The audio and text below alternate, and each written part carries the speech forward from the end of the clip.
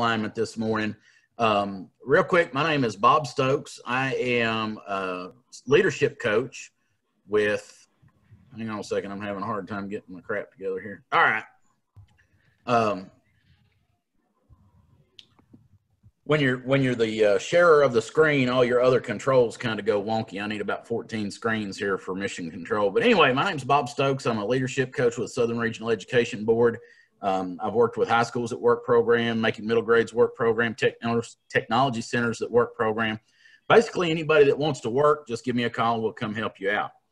Um, today, we're going to talk about lesson alignment and keeping your class uh, on the straight and narrow in a virtual world. So my understanding is that you're like every other state in the country right now. Some of you are coming back face to face. Some of you are coming back all virtual. Some of you are coming back in a blended manner. So um, the things that we're going to talk about today will fit everything. Uh, lesson alignment is not a very new topic, but using some of the, the techniques that we're going to do today for our um, for our virtual application may help you keep that engagement up while still ensuring lesson alignment. Um, the action agenda is going to be found at that link, and uh, I think Kathleen's going to put that in the chat box for us. I just did. Thank you Thank so you much. Good much, morning, everyone. Yep. And I know everybody knows Kathleen. Kathleen, you want to say a few words? I just want to say good morning. Great to see the West Virginia uh, spirit with us. Um, and yes, I did just drop a, uh, a link in the chat box. So if you're just joining us, that will be your action agenda for today. If you've not joined us this week, um, we do use this, if I may, Bob, we do use this technique where we create a simple Google Doc. It's very easy. It's all free as a way to organize all the uh, information we want our students to have all in one place. And then you can just share it out with the link. So we're doing that for you. So it's a technique that you can consider um, depending on what platform you're going to use. But good morning. Great to see everyone. Thanks, Bob. Thank you. Um, also, we have some folks from West Virginia Department of Education. Kathleen, would you like to introduce James and Nathan and Ellen for me? Oh, sure, absolutely. Or we could see if they, I know James is with us. Could we have James say good morning and introduce himself? Good morning, everyone. My name is James Coble. I'm with the West Virginia Department of Education. Um, I haven't been through the list of uh, individuals on here yet, um, but I'm the STEM coordinator inside of the Office of Career and Technical Education. Great. Thank you, James. Great. Thank you for joining us. Uh, do we have Nathan? Is Nathan with us? Mr. Taylor? Agricultural talent. Uh, I don't see if he's with us. Nathan, if you're with us, uh, unmute. And Ellen, the same. We would love to have you introduce yourself. Yes, yes. It took me a second there getting the unmute done. Nathan Taylor with the Department of Ed. Uh, I am the coordinator for Ag Food Natural Resources. I'll be one of the folks assisting the folks with SREB in monitoring and managing the chat for any questions that come up. So I'm grateful to be here to be a part of helping SREB on such a wonderful training for our teachers. Awesome. Thank you, Nathan. In fact, I had an interesting question already this morning that you and your colleagues can help me wrestle with wondering if some teachers are wondering if they can get professional development, like documented time for these sessions. So if you'll put that in your coffers with your folks, with Miss Alyssa and that crew, I'd love that. Thank you so much. We'll explore that. Yeah. Yes, I have.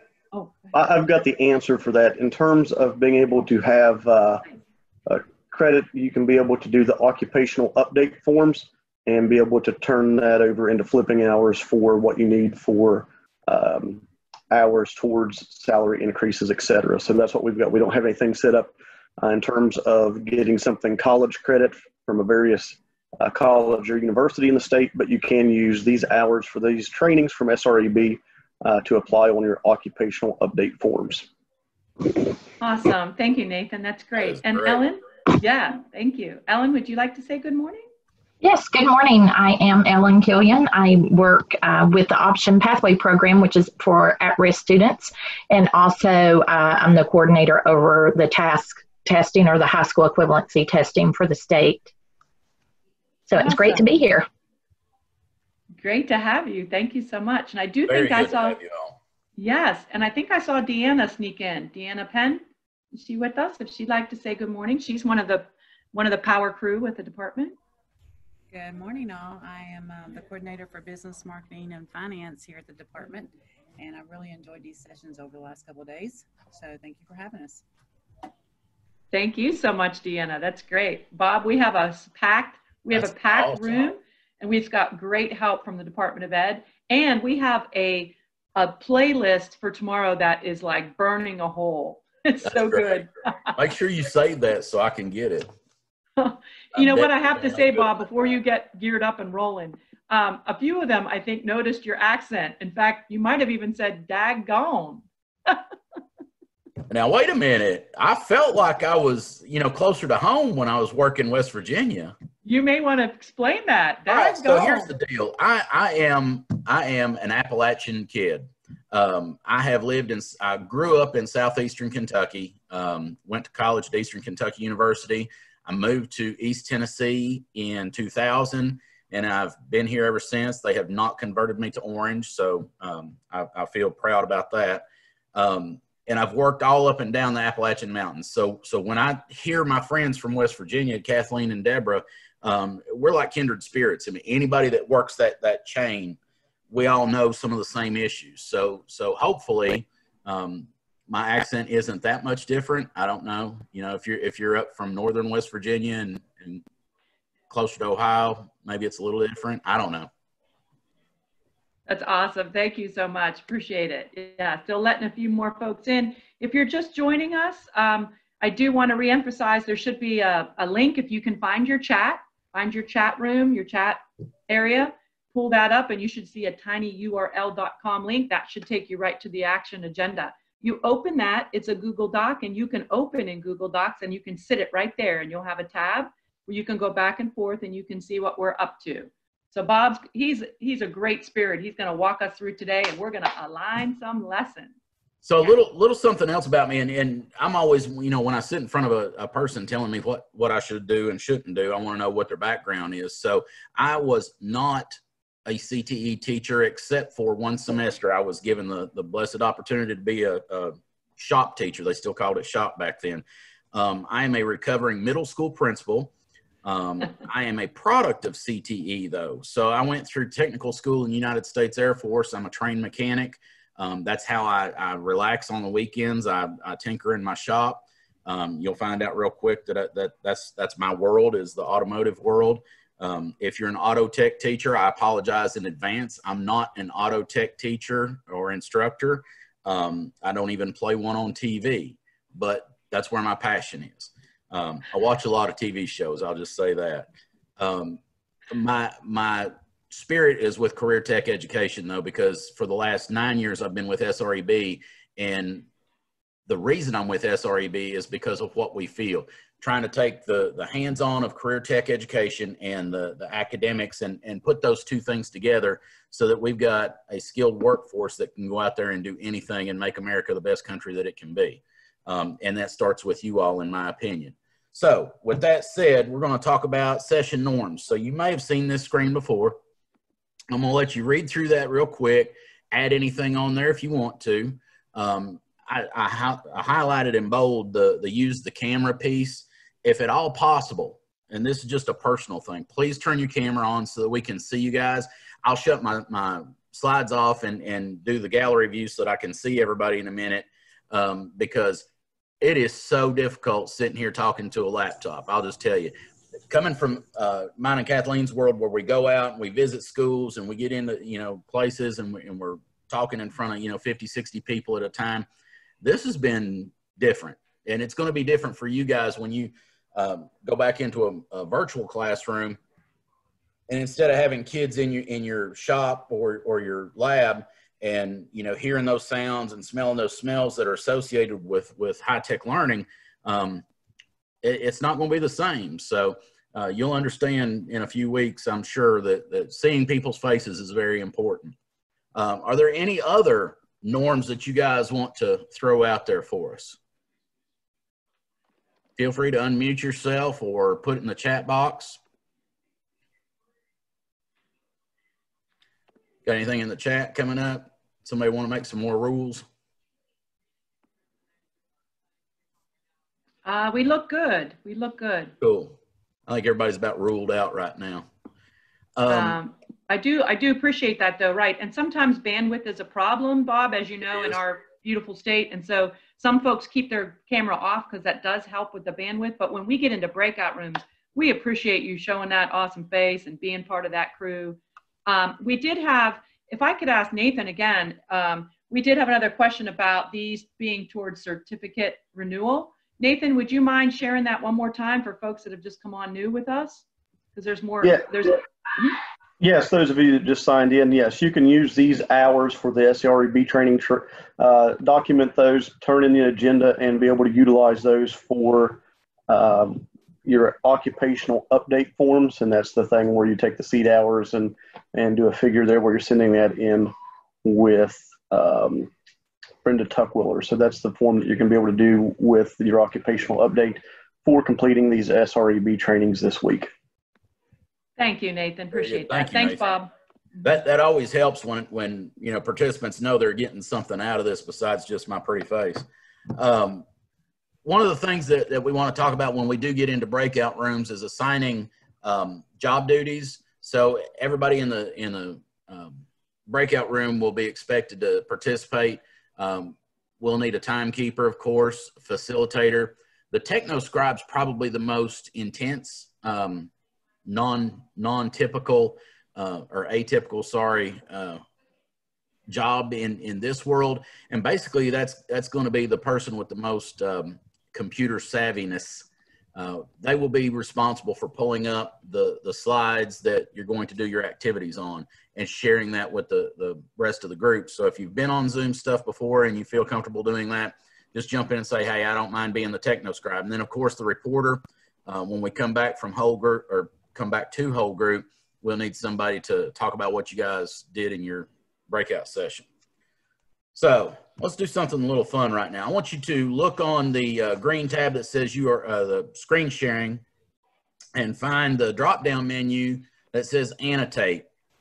And I want you to annotate, get a stamp or something like that, and mark which one of these memes best represents what your virtual PD world has been like. Sorry.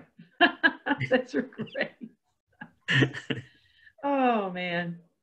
Man after my own heart.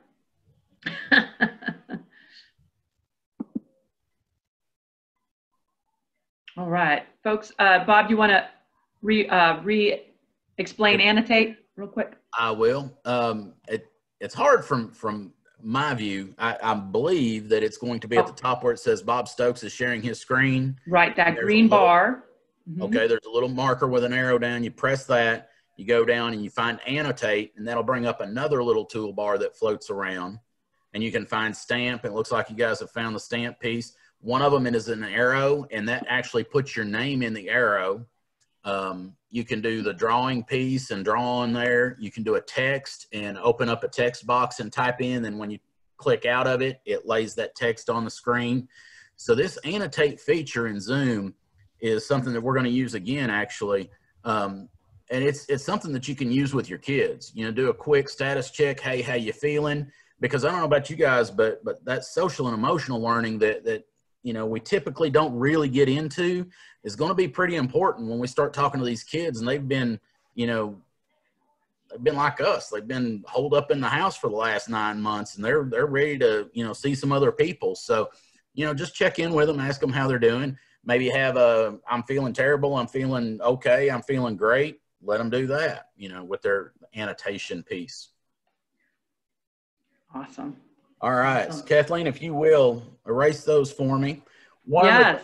when you when you've got the when you've got the power of host or co-host um, you can erase all of these in the settings somewhere you can uh, put down all right i want to know who put that so that if you've got that kid that kid that just you know scribbled on my screen i want to know who did that and so it'll put their name right beside it. So that's one of those things that as as you start using this stuff because we know how kids are. High school kids are going to test you and they are going to be probably more tech savvy about some of this stuff than, than we are. I know my kids are like that. So uh, that's that's stuff that we can help you with if you want to uh, stay after or contact kathleen or me after this session.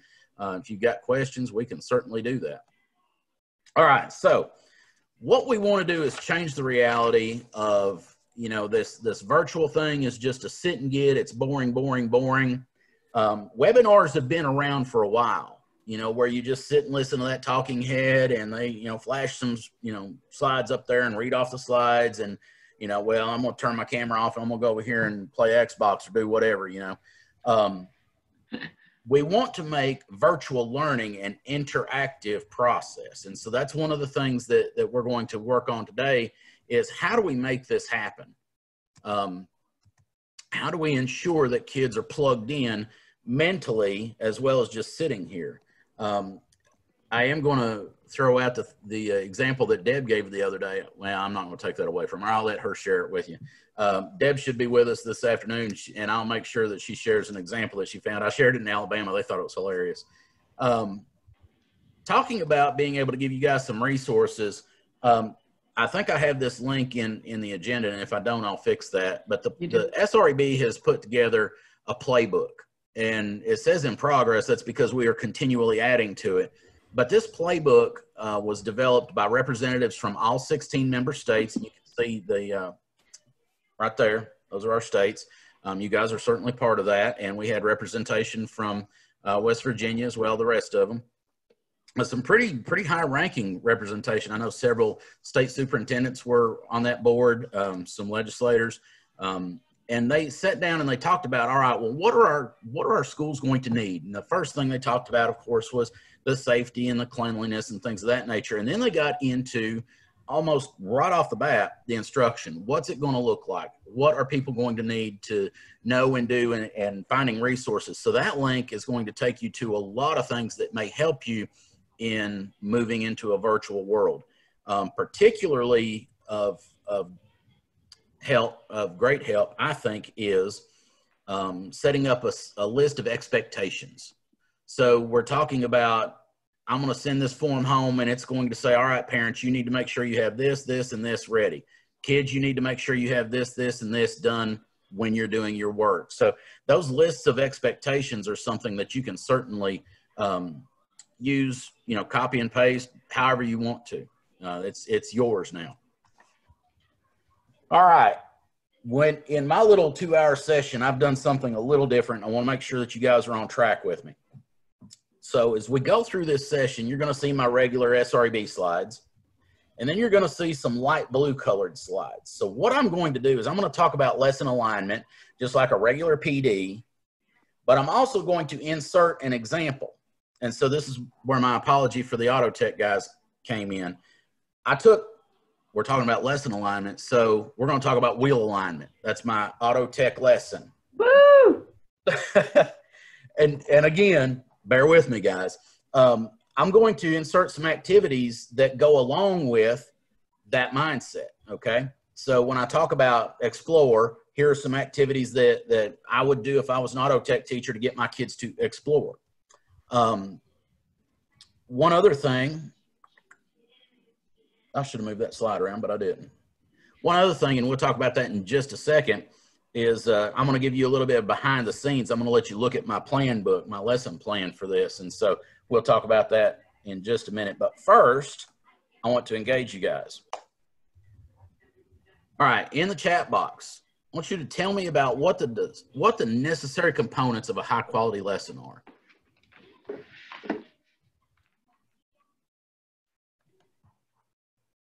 All right. we have some annotators. That's all right. They're so feisty. Thank you, West Virginia. Good morning for those of you that are just coming in. Sorry, you're all right. Ooh, all right. We've got some engagement ranking right at the top. Retention, good one, Ken. Yep. Ah, Travis, clear instructions and objectives. Yep. Rigorous. Thank you, Misty. Interest. All right, that's our diesel talent out there at Mopti. Mm-hmm. Yes, thank you, Pastor Sands. Objective, clearly communicated, right? Ooh, loving this. Powerful stuff.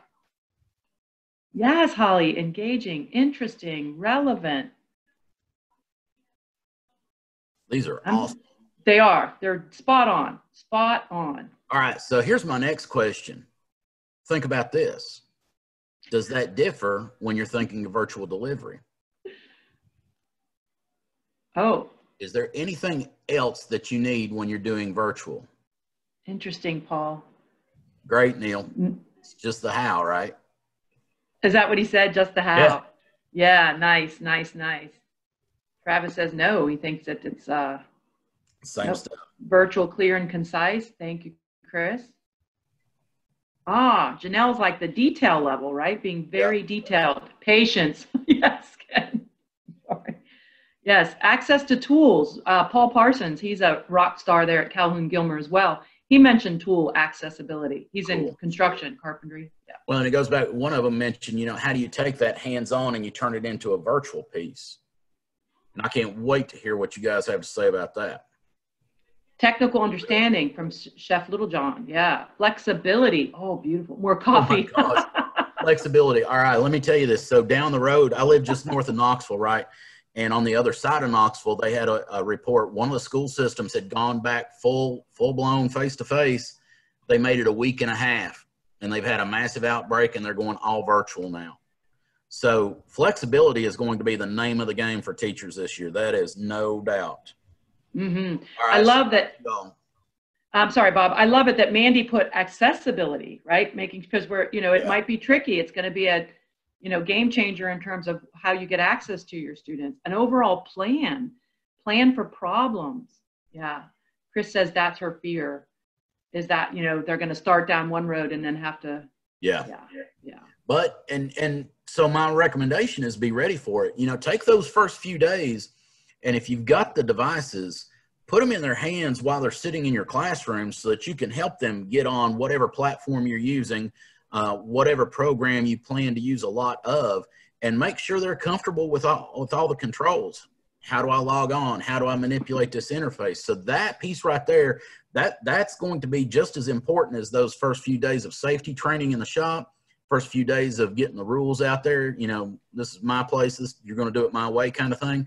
Um, we've got to make sure that, that that virtual piece gets embedded in that first few days. So Yes. when we start talking about creating lessons, that may be one of the lessons you want to make sure is out there. Yes. And First Sergeant Riley at uh, Capitol said amen to that. So we've got some good. There we go. Absolutely. Thank you for that. Yes. Yeah, I'll straighten up now. We got a first sergeant on there. absolutely. You need to straighten up anyway. I do. They'll figure that out in about six minutes. yeah. All right. So I'm going to open the lesson book here. So when I'm when I'm thinking about, oh my gosh, I've got a PD to do or a lesson in your case, um, I think about my my lesson plan, right? So one of the things that, that we started working on with SREB is we pulled off this 5E uh, format, and it looks like this. So I just put it in a basic table. I'm not one of those template Nazis. You know, I'm not going to say, all right, you got to have, you know, this here and your objective here, and it's got to be, you know, a smart goal and all this other stuff. I want to make sure that that anybody that's associated with me has got that clear and concise objective. It's standards aligned, and that we've got some engagement. Okay, so the five E's pretty much do that. So the first thing that we're going to do is we're going to engage. We're going to put a, an essential question out there. We're going to get people fired up about whatever it is we're trying to teach them. Then we're going to explore that, go a little bit deeper. You know, do a little something on your own. Then the explain piece, and that's where that that direct instruction comes in. It's it's you know right snug in the middle, and it's not a huge chunk but there are going to be times where direct instruction is going to have to happen, right? I have to show my kids how to do this bead, or I have to show my kids how to start this IV because they've never done it before. Um, so that's the type of thing. You guys have never heard of the Anderson matrix, I would imagine. So I'm going to have to explain that. Then the extend. So you take what you've given them, that little nugget, and you pull that thread out. So you start thinking about how do I get that to happen even more. And then finally, you evaluate. Okay. And an evaluation comes in many different shapes and, and sizes. Um, it is it is probably one of the most misunderstood. That whole assessment piece is one of the most misunderstood things in education from my experience. Um, so we'll talk a little bit about that. Now, the very first thing, so once I get my 5E and I'm starting to think about things, the very first thing I do, and several of you mentioned it, was I'm going to go to my standards. Okay. So I know what my standards are for PD. SREB gives them to me. But if I'm a teacher, I'm going to go to my, my state standards. I've got some academic standards. Sometimes they're embedded, as you can see, in the precursor of that list of skills that I have to have, but there are some academic standards. Um, in this one in particular, and I stole this from Kentucky, my apologies, um, but they have to, student will, yes ma'am. Well, I was just thinking, you know, with our Department of Ed folks on here, they could attest to and, and remind everyone here, right, that I do believe West Virginia has career education and academic standards already embedded. Somebody Absolutely. jump in if you want. Yeah, let us know. Yep. Good. So in this example, it's I think it's the the last real sentence of the, that paragraph. Student will also receive the necessary training to locate and use current reference and training materials from accepted industry publications and resources, and demonstrate the ability to work write work orders. Okay, reading and writing. Boom, literacy. And I've made Deborah Cohen happy, right? Um, she's our literacy person. If you guys haven't met her.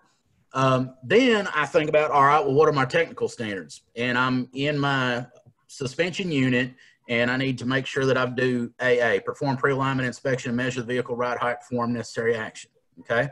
So those are the standards that I'm going to align to. I also have my activities that I'm going to think of. Okay. So when I'm thinking about what activities academic, what can I have them do that meets that literacy requirement or that math requirement? What technical standard, what, what activities are going to uh, match up with that technical standard? And, and you also think about assessment in this. How am I going to assess that they know it? Well, I see that they've read from their technical manual. I see that they've written a work order. I can see that they know how to inspect a tire or they know how to inspect a, a automobile. Okay. Um, that is the piece where you're going to have to say, all right, well, they're all sitting at home and they're not in my shop and I need to make sure that they're safe. How can they do this? A lot of kids, a lot of kids have those smartphones with cameras, right? Have them make their own little TikTok or YouTube or whatever video of themselves. Oh, I'm going to go out to my car and I'm going to perform an inspection and they make their own little YouTube video about inspecting the the you know front suspension of their car, and they upload that to your your learning management system. That's a performance assessment. Okay. One more thing that CTE teachers do, and I swear, I promise you guys, I'm trying to get every academic teacher that I've come into contact with across the country to do this. We want kids rolling out of high school ready for work. I don't care if they're going to college you have to be ready for work because after college, you better be working because you got something to pay off, right? Um, so these top skills that employers need, whatever employability skills that you that you abide by, whether it's Skills USA, whether it's the stuff from ACTE, um, those pieces need to be embedded in all of what you do. So as you think about that virtual presentation, you want to make sure that they're using good oral communication that they don't have some thick country accent like Bob Stokes. Okay. Um, you want to make sure that they're good with their written communication. They're good with their creativity and innovation. All of these pieces that you see on the screen are embedded into your assignments. All right. So back to the bell ringer. That was my engagement piece. So back on slide eight, I was looking for specific items aligned to what I said my standards were, the TCTW 10 key practices. Specifically, those 10 key practices are aligning instruction, assignments, and assessments that connect technical, academic, and employability skill standards. So in a nutshell, that's what we're talking about today. Does everybody feel engaged from that? Get them, get them to show me some thumbs up or, or Oh, yeah. reaction button down at the bottom of your uh, screen with all the little things that you're allowed to do. Uh, reactions, you can uh, there you go. Kathleen just modeled that for us. So you got a Thank you, Monica. All right, Brian Stearns, Mr. Stearns on it with his finger. He knows how to work his thumb. That's, That's awesome. awesome. Thank you. So Thank you, what Chef. you do as as you're as you're doing that, um, that's another way to check engagement. So I've been talking, you know, stand and deliver like some of us do.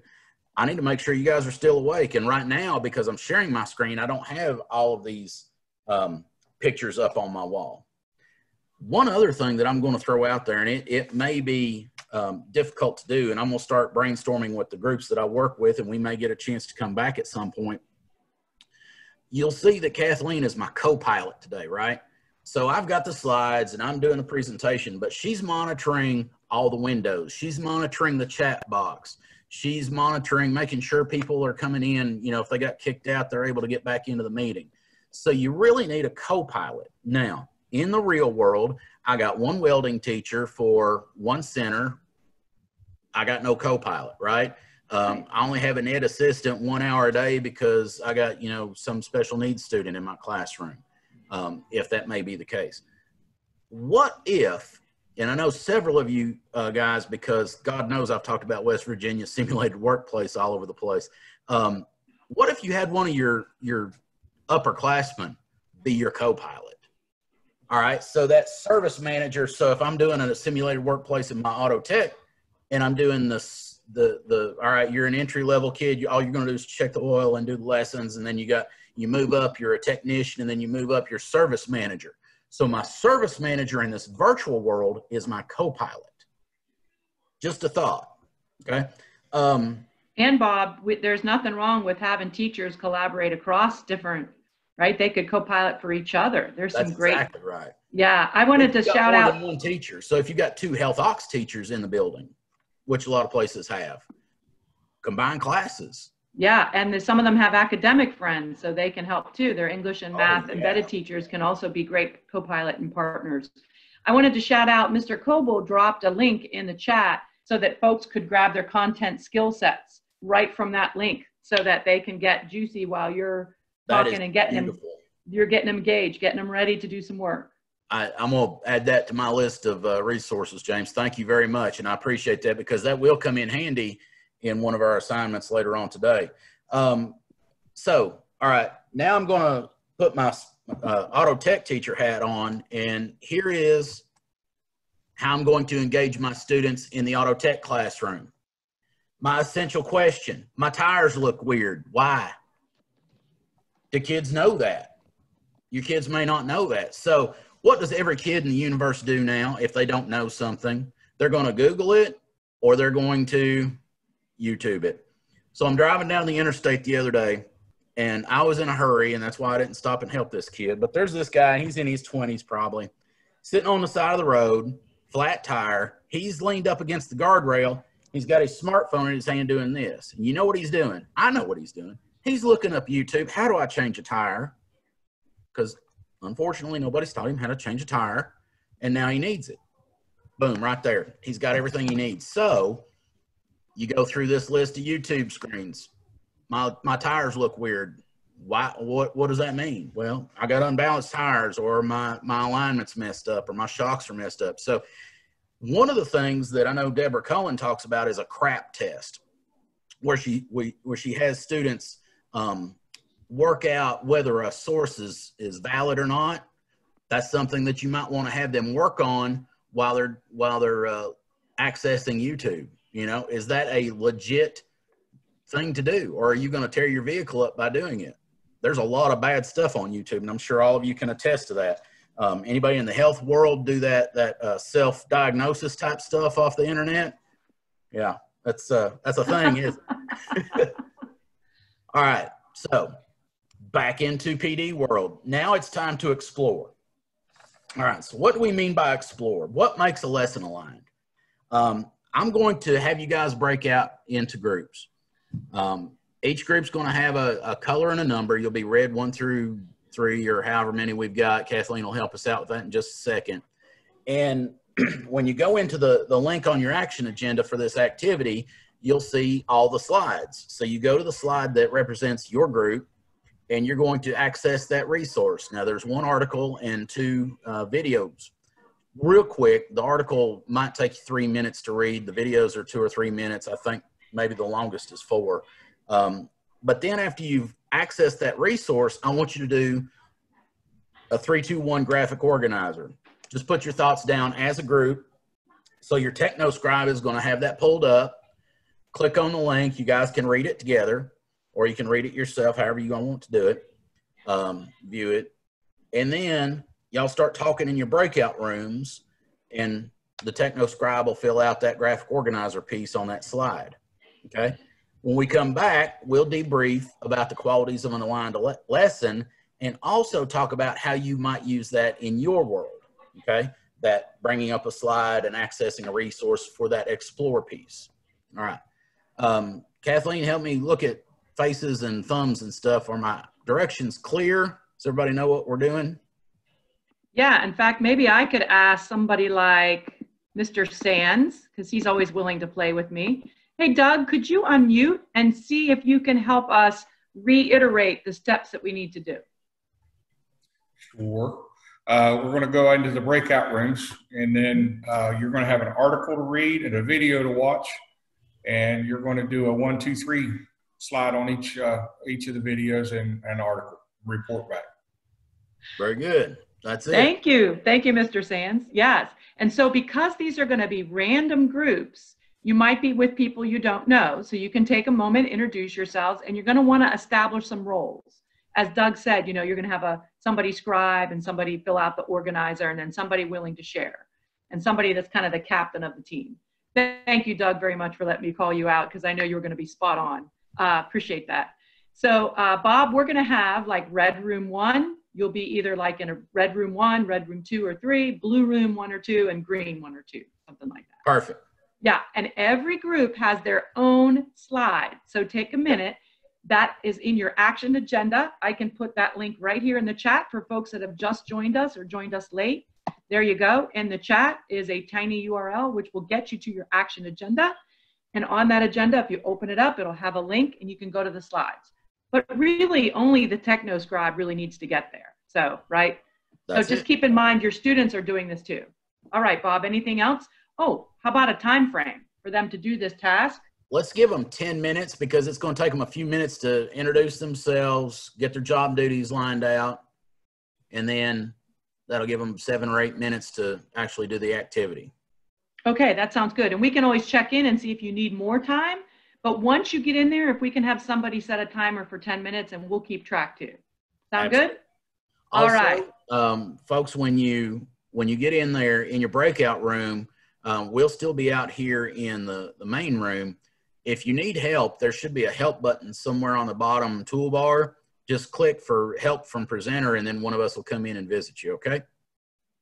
Yep, right. sounds good. Yeah, and if you can turn your camera on for your folks, that'd be nice, just so you can say hi and work with your folks this morning.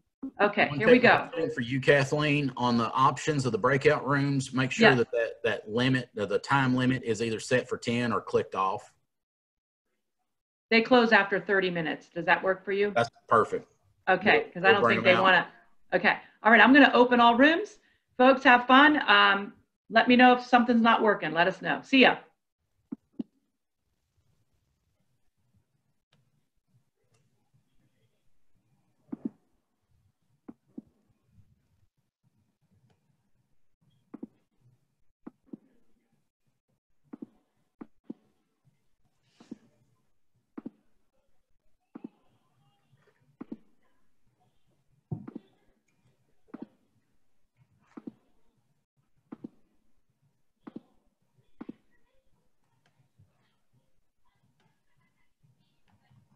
All right.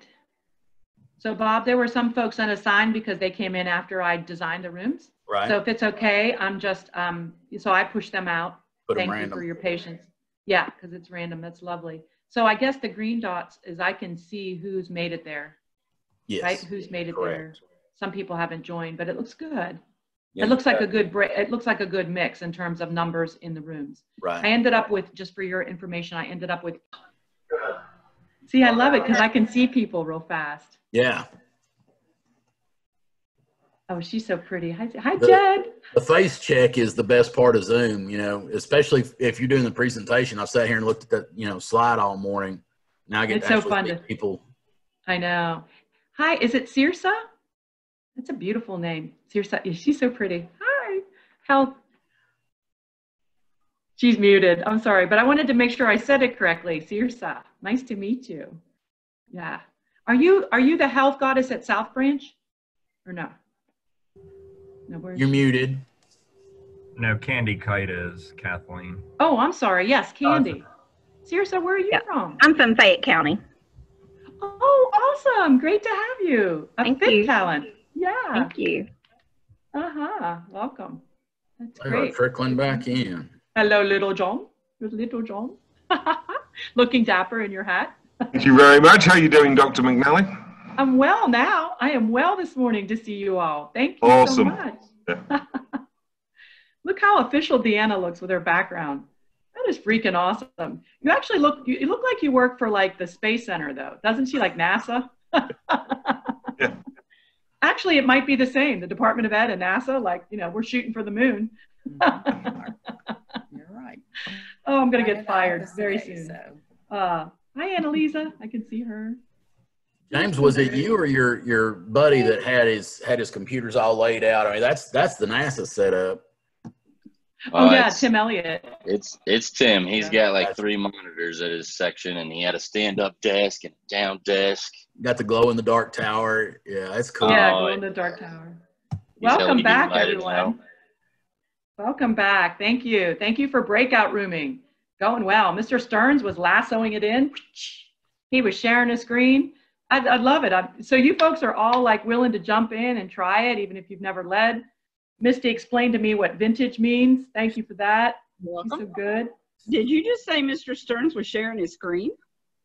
He was sharing his screen, Virginia. There you go. Yeah, now I have to say though, he printed the screen out first and then shared it, which I freaking love you for. Hold it up like that. That cheating. Oh my goodness. Great to see everybody. That's Welcome too back. Bob, I'm sorry. I just can't. I can't No, do not be sorry. I promise you. I love this type of group. You guys are my people, man. I, I am coming to West Virginia. I promise you that. Doggone. Is that what you Holy said? All right. So let's better than what I normally say. Yeah. But so it was an interesting structure, right? So they go into breakout rooms, they have to navigate some resources just like your students would do. You got to do some processing together. All right. So we're back. Bob? All right. So now it is time to report out.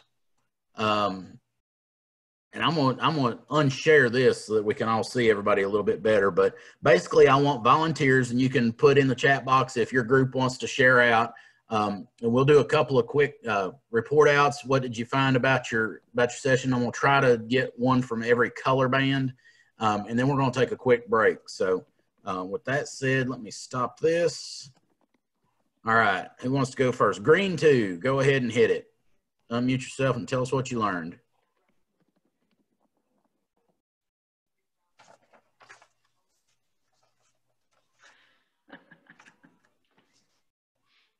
Holly, if you've Oh. already started, you're muted. He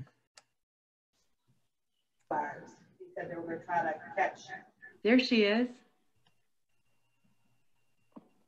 All right, tell us what you learned in green two. Am I muted? No, I think you're good.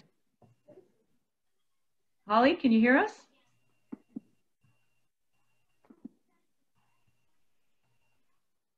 We got you.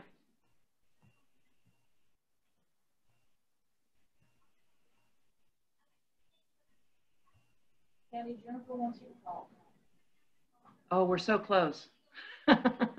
you can feel it. hey, Bob, do you want to pull up the slides? Muted. I don't You hear me? there. I can. Yes, we can hear Can you. Can you hear me now? Yeah, there Yeah. you go. Okay, there I am. Okay. So the three takeaways that we had from this were um, that instruction should be aligned. We should focus on one skill throughout the lesson and that our teaching strategies should match the objective. Um, the two new ideas, it's going to take more creativity to teach virtually and we need to improvise a little more. Happened to a screen. And the one question that we still have, how do we measure proficiency through virtual instruction? Great. Those are great. We will try to make sure that these questions that you guys put in your slides get answered at some point, either this afternoon or tomorrow. Okay. All right. Who was next? I couldn't put my chat box here. Oh, sorry about that. No, I was writing good. down because I think that's a great question about measuring uh, proficiency. Right. Absolutely. Yeah, and it does take a little more creativity, but we can figure that out, right? We want real evidence of what students are capturing and doing. So appreciate that. All right. What did you want? Uh-huh. Go ahead. Chef from room two is coming up. Red two. Oh, Chef Littlejohn, yeah. Red Room 2.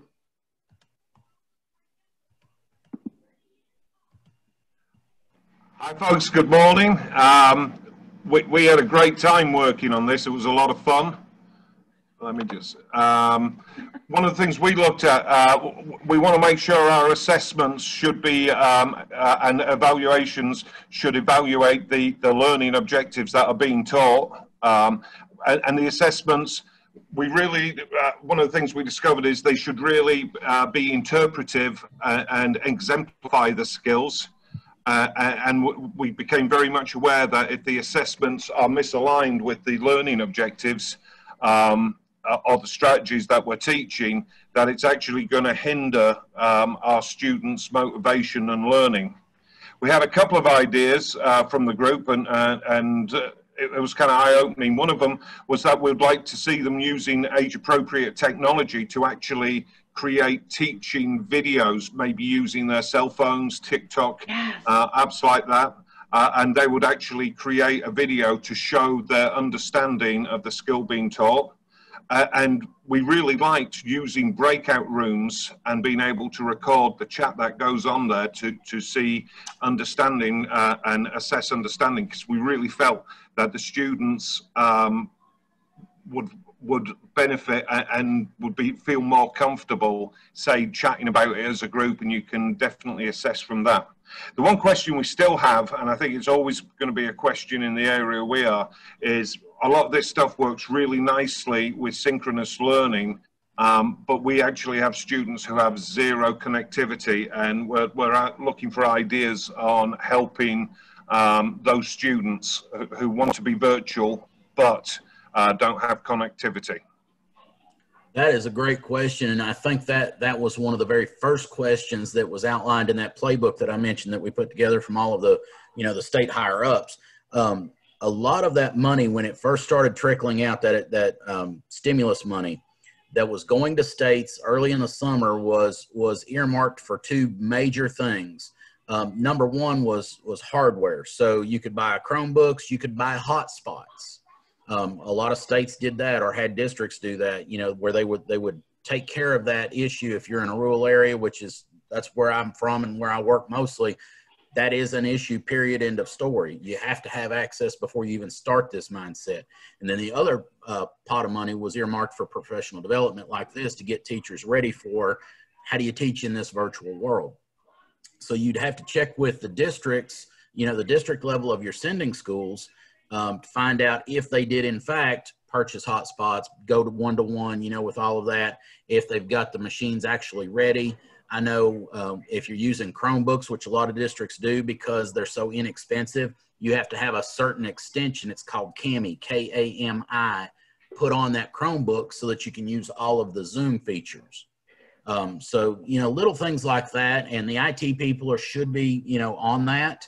Um, several of you are IT professionals here. You, you understand all of this stuff and can probably help your centers out.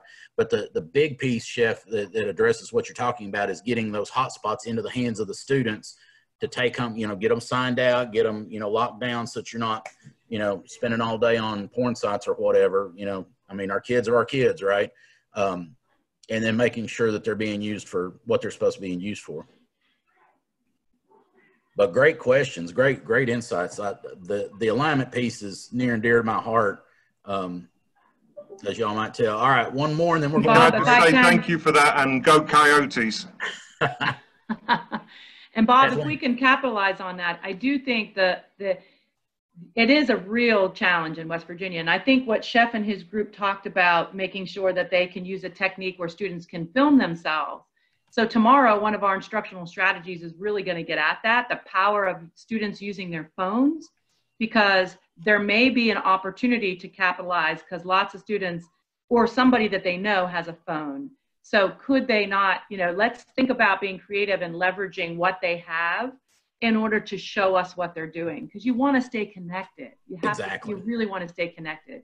So chef, thank you for you and your group for tackling the hard questions. Yeah. Synchronous will be difficult. Asynchronous may still be difficult, but it won't be impossible. So Right. I, I, I record a video or I do an assignment and then I drive into town to McDonald's and use their free Wi-Fi and, and upload it all then, you know, and then download my assignments and then come back home. Um, you know, Right, so that might available. mean, that might mean planning for asynchronous makes sense, right? Because you can always back out to synchronous, but asynchronous is the one you aim for. All Thank right, you. guys. The last group is Blue Two, and Monica, tell us what you got.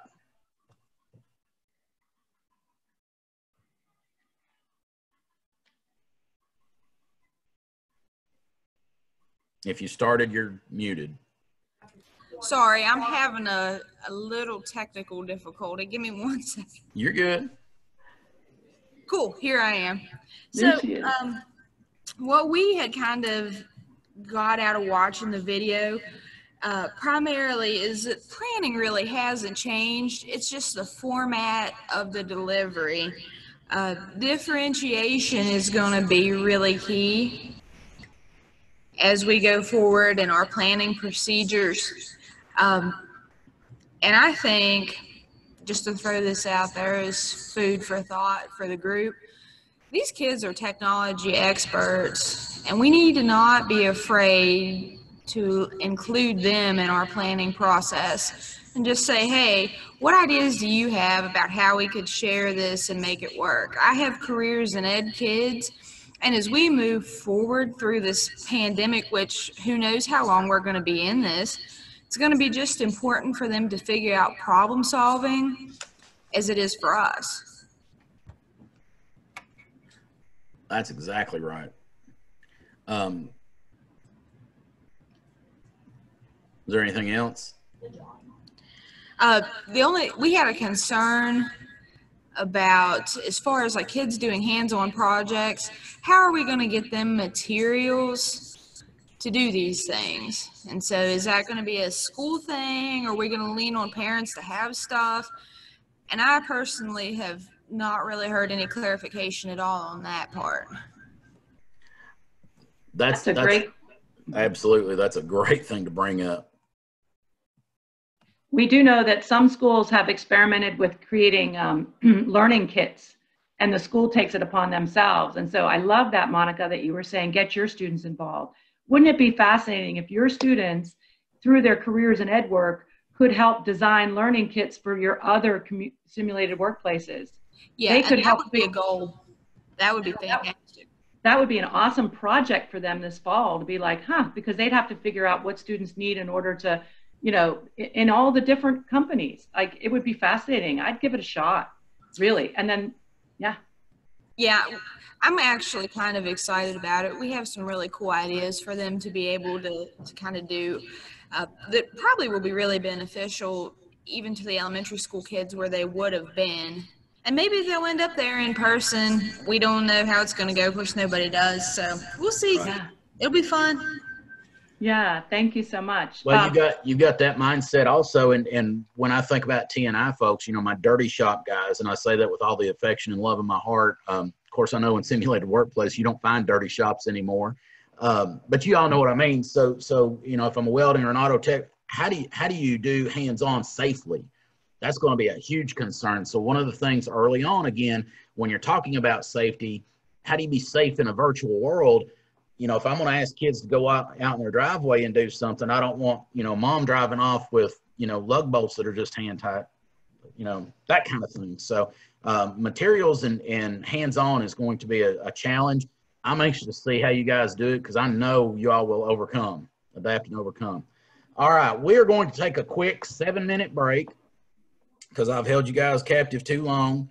And I don't know about y'all, but my uh, rear end can only handle so much sitting in front of a computer screen. So let's get up, turn off your uh, screens, um, get up, stretch out, do some jumping jacks, whatever. Go get that other cup of coffee, and we will be back in seven minutes. seven minutes. Thank you, folks. Seven. Thank you, Bob. Yes, ma'am.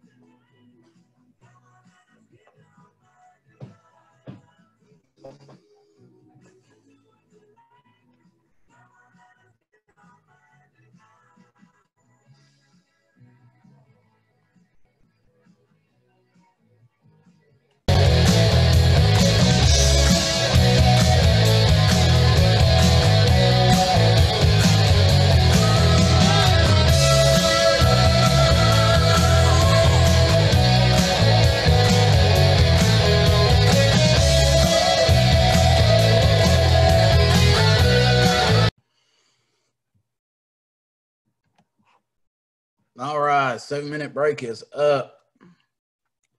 You guys ready to get back at it?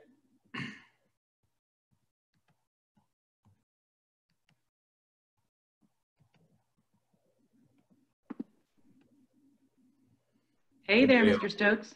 All right, we doing thumbs up? They have done thumbs up. Got several of you back. All right. Um,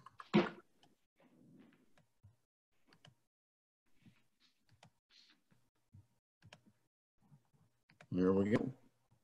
Isn't that funny how time is sort of warped? Like sometimes seven minute feels like a long time and sometimes it feels like a short. Time. It does. And it is just barely two songs.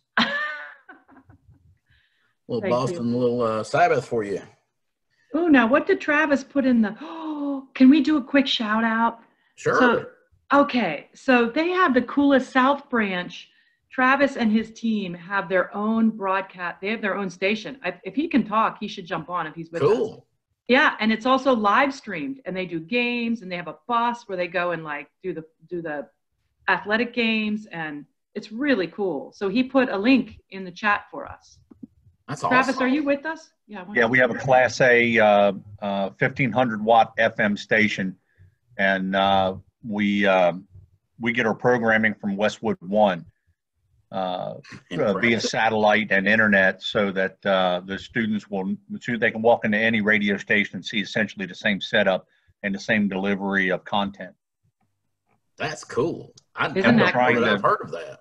we're trying to get our teams together for WVXS TV uh, to start going out. Of course, we're beholden to the um, the COVID restrictions and things, but we're, we're trying to be in compliance and and get our students out. Uh, well, if if we play football, Gotcha. Right. Now I have seen I have seen the uh, mobile trailers with the TV production stuff put in them where they go to the, the ball games and they broadcast that on local access. But that's really neat when you're linked up with a uh, TV station. That's yeah, awesome. we uh, we live stream everything, and we have a school bus that we retrofitted to uh, make it a, a mobile production truck, Sweet. a It is so cool. bus. It is so cool. He showed it to me when I was there. Kathleen, you got to get me an invite up there. I'm telling you. Anytime. Oh my sir. gosh. All right, so back to it. Um, that was our explore phase, and and one of the things that I would have done in my auto tech classroom as an explore activity would have been have them dive into that service manual, read that section, watch a YouTube on the same topic, get into breakout rooms, talk about the you know the different ways tires wear, um, ask them if they've seen anything like that in real life.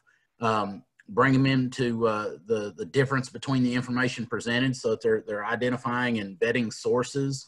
Um, you know, using that that uh, service manuals, you know, like the Bible, not to be sacrilegious, but you know, that's that's the the standard. What does this YouTube video? How does it rank up? And then uh, finally, put them into those slides. Now, we had a discussion in one of the breakout rooms about those slides. If you were looking, that slideshow had you know about 20 slides on it. So in your breakout rooms, you identify, all right, kids, you go to this slide and you can put whatever activities on those you want to. Um, we had three activities and three color groups. You, you, guys know how I had it set up. You can do the same thing however you want to. So that's just a, a one-stop shop for them to do that. And then as, as the instructor, you can go in and you can look at all of those slides and say, all right, I've got a, a little circle on every one of them somebody has accessed those slides. They've, they've got the technology down. I, I was good with that. And then I looked and I saw, well, this one's not even started, you know, five minutes in on their three, two, one. So I know they need some help. So we go in and find out they've got some issues. Um, that's the same kind of thing that you can do with your students in your breakout rooms. Um, there are lots of different pieces out there and, and you'll learn some of them this week, but honestly, just getting a chance to sit down and play with some of these apps and some of these websites everybody's bending over backwards trying to make a buck off this virtual world that we've jumped into with both feet. Um, i know there's going to be some manipulation software where they can you know simulate whatever type of uh, work it's is going on you know? It, it's it's one of those things that's not going to be the same ever. And i'm thinking like a, a welding simulator you know that that that tool, that apparatus is expensive, but but seeing it on video isn't the same as seeing it through the mask and and you know feeling the heat and getting splattered and all that stuff. Um, the the hearing it. So there's lots of things that you're going to miss out. But if we have to continue virtually, it's close to the next best thing. So I just want to throw that out there. Um, and then I'd have a you know a slide that here's what you're looking for. You know, get get them on on target with everything. All right, so the next phase of that 5E plan is explain. And this is the piece Bob, where I, real quick. Yes, ma'am. Oh, yeah, I was just trying to catch you when, when you were taking a breath. Um, so luck. Mr. Coble, Mr. Coble, could I ask him to um, open his mic and share? Because he has some ideas around that that you were talking Please. Yeah, so um, Tim, Tim and myself have been looking at the Dynamics 365 and the HoloLens uh, piece. If you haven't seen that YouTube video, I can post it in the link um, Okay. where they're utilizing the instructor to kind of walk through a process that the that the student should learn, um, and it gives them a virtual object. So it's an AR, augmented reality, um, where it shows them which tool to get and from where inside the uh, room. Um, anyone that's seen that, it's it's a pretty great video to kind of show you where education could go with with these types of virtual instructions. Yeah, that augmented reality stuff is huge, and and you know you see like in the in the marketplace, real estate places are using it so that they you know walk you through a house so that you don't even have to get up and go visit, you know, until you fin- find one that you really like. Um, but that's that's super is is getting acquainted with the shop, getting acquainted with the lab, getting acquainted with the the workspace. Um, you know, seeing the equipment, having having whoever's doing the video touch the buttons that do this and do that. So it, it really would help with that explain phase that we're getting ready to talk about. So thank you for that, James, and um, make sure you put that that link for that video in the chat box. I'll I'll look at it myself. Hey, you Um, know what, Bob? Yes, And ma'am. just, I know, I know, just as from an old fashioned, you know, there's nothing like the smells and tastes and sounds of a CTE center. You know, it's really hard to like, we're going to miss that. But what I'm hoping is that also we can, we can leverage the time, right? If they're going to get a little bit of time with their students face to face, you want that to be the experiential part for sure. Right. So you want to think and aim for that as your goal, and then think, okay, so what can I do either you know virtually or send stuff home or whatever to get them ready for that like it's kind of Right. like trying to maximize that beautiful time in real time for that good stuff right there's nothing like smelling the hospitality you know the culinary Oh yeah. feeling feeling the heat from the welding you know what i'm saying so Oh, I, I do. I mean, smelling a, a diesel wet stacking reminds me of being in the Air Force. I mean, it takes me back that fast. Um, wonder so- if alex heard that yeah so alex he's a diesel man on here yeah um, james i'm sorry go ahead if you wanted to Hey. I was going to say, I don't know if this is a blessing of intuition, but um, Tim and I, before COVID had happened, had started looking at doing some three um, 360 camera walkthroughs of some of our shop classrooms, um, and having the ability to kind of tag out objects. And uh, actually, we started with Mr. Sands' classroom. He can talk to you about that problem a little bit, but we were we were thinking, you know, you only have one machine. Tool, you don't have one machine tool class in each county uh, in West Virginia, let alone each school having one or two teachers to kind of bounce ideas off of. And so it started with that kind of thing. What sh- what what a shop looks like, uh, what the layout could look like, um, and then we were kind of progressing into this uh, dynamics piece where it could be an instructional strategy. Um, but it has kind of set some things in line and kind of helped out with uh, some of the COVID Mhm. layout type things. So it, it, it is an interesting concept. Yes and we've got several centers that, that we work with across the country where they've gone to that blended model or, or an AB type schedule. And, and I know I'm going to get to see my kids at least one day a week or two days a week. And so I've got to capitalize on that time where they're physically in the shop. So what can I do virtually to get them ready for that day? So that's, that's the mindset that, that a lot of people are in. Um, and it may be the mindset that you guys are in if you start virtually you know what do i what kind of things can i get in their head before we come back hopefully you know this year and um, put hands on something? One of the tools that that we've used in the past when we're working with alignment is this thing that's called we call it the anderson's matrix but it's i've got a link right there. When you get into the slides you can click on that and get the research on it if that's your thing um, but basically it looks like this and um, Kathleen, if you want to do a shout out about your top 10 marker there, you can. Or is it supposed to be secret? yes Is it supposed to be secret? I'm sorry. No, no. So the West Virginia crowd was when we surveyed them originally, they were like, we want to know the top 10 things we need to consider. So we set it up like a top 10 challenge for anybody who wants to play this week. And we're giving away fuel cards, we're giving away stuff. So Amazon, actually, we're giving away virtual candy because I got spanked about that yesterday. So we're doing it. Uh, so we see this top 10 icon. When you see that throughout the week, that means that what we're talking about right here is really helpful for one of those top 10 questions. And if you're wondering what the top 10 questions are and you want to play the challenge, it's linked on the agenda called the Top 10 Challenge. Thank you. Thanks, Bob. You're very welcome. And, and, and the reason I do that, guys, I, I really want to give Kathleen her props. You all are blessed with one of the best consultants in SREB's history. Ever since I started working here, I wanted to be as cool as Kathleen. Um, she bends over backward and does for you guys. Um, one of the first conferences I ever went to as a staff member, I, I remember seeing Kathleen with all you West Virginia folks around her. I'm like, man, I want to be like that when I grow up. So um, you guys are blessed with her, and, and No, it's not nobody me, else is going to send you gift cards. I promise. No, I'm telling you, it's not me, it's them. It's because West Virginia folks are so freaking cool. That's So- and, and they make you want to be good to them. I get that. I know. So All right, let's so this- matrix. this matrix piece right here. So basically, all we're doing is we're taking the stuff. If you've ever been through a teacher prep program, all that theory, we're putting it on a on a matrix. So you've got on the left side going down, you've got Webb's depth of knowledge. So what do we want them to know? Is it factual? Is it conceptual, procedural, or is it way deep into that metacognition? Across the top and going horizontally, you've got the cognitive processes or that Bloom's taxonomy, if you remember that stuff from Education 101. So, what are they doing? Are they remembering it, understanding, applying all the way deep into create? So, if you can see my pointer, let's see if I got a pointer here.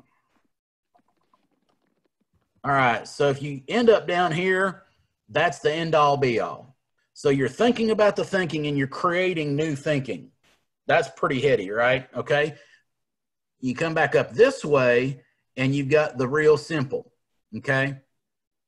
Can you remember factual information? And and instantly I'm brought back to geometry, you know, pi r squared.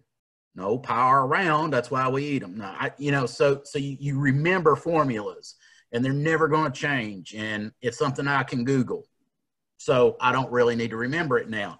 So if you'll think about it, when you dive into the standards and you start dissecting that standard and you really get into the meat of it, you, you, you get the noun and the verb. And not that I'm an English teacher, but I want to know what they need to know and I need to know to the depth of how they need to know it. So most of the stuff that we work in in CTE is going to be in this area. Okay. I'm going to apply, analyze, evaluate conceptual and procedural. Okay. Now I'm making us think about that for this reason right here. We're aligning objectives from those three areas that we talked about earlier the instruction, so what the teacher's behaviors are, the assignments or activities, what the student behaviors are, and the assessments. And you think about, in my world, I think of them bookends. I'm gonna start with the objectives or start with the standards and end with the standards. I'm gonna get my learning targets or my objectives, and I'm gonna get my assessments and I'm gonna line them up, okay? When we do that on this piece right here, and I'm gonna give you an example real quick, you take each one of those pieces. So where is my standard? Well, my standard is going to be right here, okay? Now I may start off with some vocabulary, which is gonna be right here. And then I'm gonna do some activities, which may be right here or even right here, okay? But eventually I need to get to this point right here because my standard said I had to. So my final assessment, it may be in one of these areas, but as long as I can say that those kids know how to analyze a conceptual whatever it is, you know, that, that content standard, then I'm in good shape. So let me give you an example real quick. I'm just now learning how to bounce from my pointer. So in my auto tech example, I had them do some research. I had them do a vocabulary handbook. I had them do a three different axes uh, that were mentioned and how they might use those, see those terms again. So I, I worked in some math, okay? All of those activities that I had them do, I can, I can plot on that matrix. So think with me here. My objective or my standard was conceptual and analyze, okay? So I, I didn't want them to just do the alignment on a Chevy. I wanted them to be able to do the alignment on a Chevy, Ford, or Toyota. Okay, so that's the conceptual. It's a little bit more than just one piece, uh, memorizing one function. Okay, I had an activity where we talked about alignment. We talked about the, the vocabulary that's going to be involved. I had an activity where they understand um, the concept. So what's what's the theory behind alignment? Okay, I had a performance task where they they did the procedure. So they actually did an alignment inspection. Okay. Then I'm going to have them on the test. I'm going to have them evaluate does this auto, does this automobile need an alignment, and then how do you do it? So at the end of the day, I can say yes, they can analyze that concept of alignment. Okay. So that's the behind the scenes thinking of that set of activities and assessments in my auto tech class. Now it's your turn. So, I, and this is the extend phase. So I've, I've explained it. Now we're going to extend it. I want you to get into your world. We're going to get into breakout rooms again, and you can or cannot. It doesn't matter to me. If if you want to, at the, the second page of that action agenda has one of those Anderson matrix setups. I want you to think about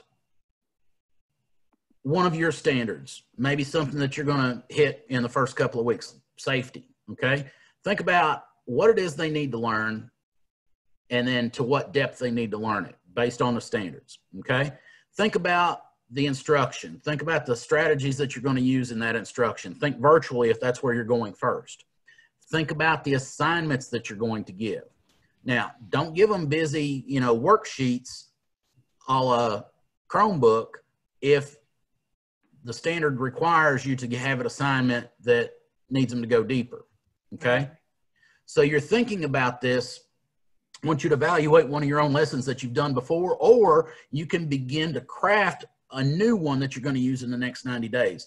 So SREB's always been about pragmatic training. So we're going to go into breakout rooms for about 10 minutes, same, same rooms. And I want you to discuss how you would use this, maybe what's got your juices flowing right now. What are you thinking about? How do you make sure what you're doing is aligned to the standards? All right. Any questions, hey, comments, or rude remarks? And hey, Bob, it- would Yes, it be okay if in the breakout rooms, if somebody wants to offer up one of their lessons to use for the group? Oh, the process, that would be great, because some folks are coming from, some are administrators and some are, yeah, so I think it'd be neat. I mean, you could, yeah, to your part. Sounds good. That would be perfect. All Okay, right. so let's see if there's any questions. Feel free to throw something in the chat or put your little hand up if you want with your reactions. Well, it's a, it's a clapping, but you can clap and get our attention. All right. See if anybody has any. So you're gonna do an alignment. You're gonna have an alignment discussion. Yeah, it's juicy stuff. Ready? All right, do you want me to send them out, Bob? Send them out. Send them out. All right. Okay. And then we'll come back and debrief and send you to the sunset. Here we go. I'm going to open all rooms. See ya. 10 minutes.